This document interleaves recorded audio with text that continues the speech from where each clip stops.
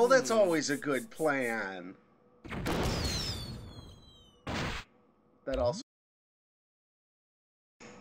Hello, everybody. I'm Noobicus Maximus. I'm Kryptic Enigma, and, And- I said my name right. You did for the first time in many, many videos.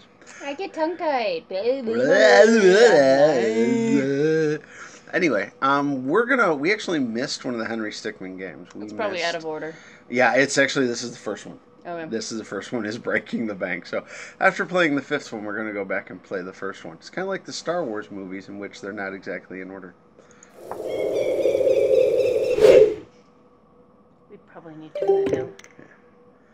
Okay, there's like no storyline whatsoever. Just drops right into it. Of course. But look, There's the teleporter. teleporter.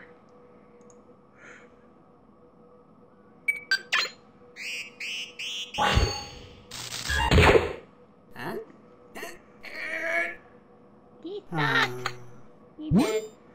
That that that didn't seem like that worked out too well for him. Nope. All right, let's wrecking. it's good to see that these games had a good sense of humor right from the get go.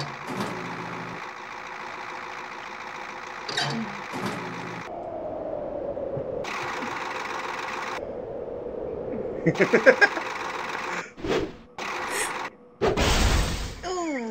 ouchie. Uh, let's Disguise. do- No, no, no. Laser drill, laser drill, Laser drill. All right. laser drill. All right, laser drill.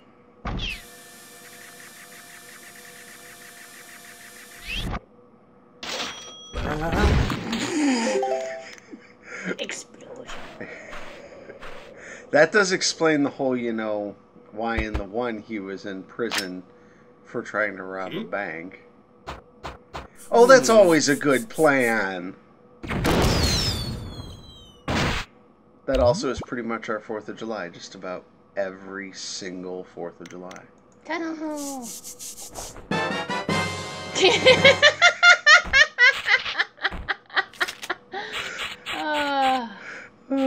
What? Oh, oh. Doo doo.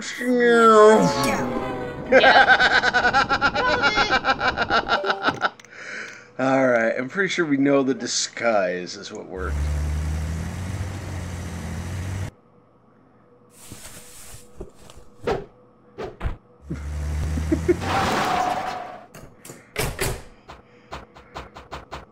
Eh, How did we lose one?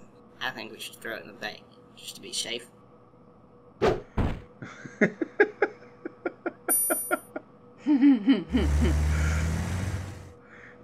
Everything was in capital except for the B. Mhm. What is this? Scrooge McDuck's money vault? Yep.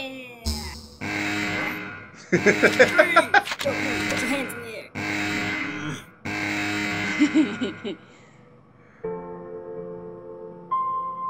It's apparently super short. okay, yeah, apparently that was super short. All right, well, that was Yep. Henry Stickmin breaking the bank in six easy parts. So, all right, well, thank you all for watching and good luck. Have, Have a fun. good one. Bye bye. Bye.